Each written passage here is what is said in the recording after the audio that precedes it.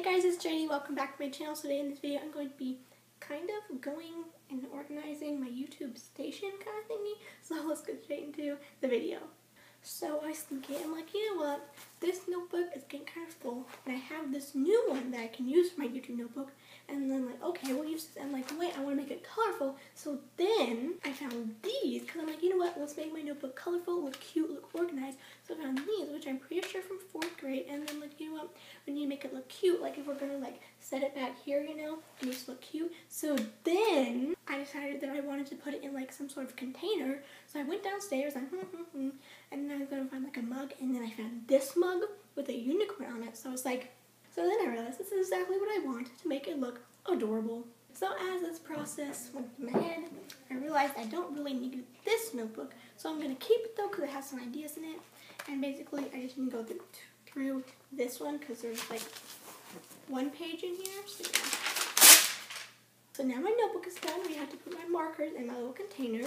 And I was going to do this and then I thought, no, let's wait and do this for the video. So that's what we're going to do. I tested all of them and they all work, which is great because they're like five years old, four years old. Look at that rainbow, so cute. So now I have this drawer that I need to open because in it there's just a bunch of random stuff that I might need. For, oh, yikes. So in it is a bunch of stuff that I might need for video, so I'm going to organize this and then put all of this stuff in it.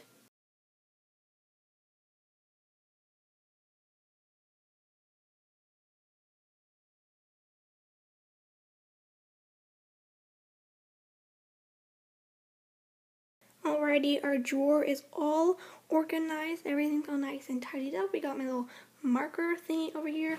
And now I'm going to deal with all this stuff.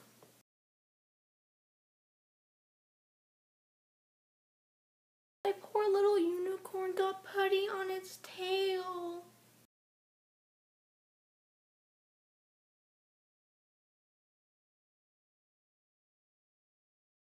So all the stuff that was in this basket we moved down into this drawer because it's empty.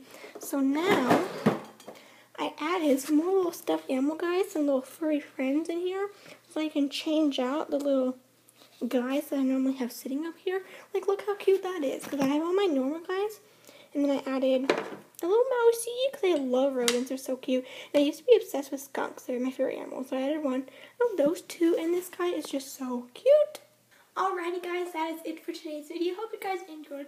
Comment down below what I should add to my little setup here. So it could look a lot cuter if the wall was all one color, like that guy and those guys are just in the way. But anyway, that's it for today's video. Hope you guys enjoyed it, and I'll see you guys in the next one.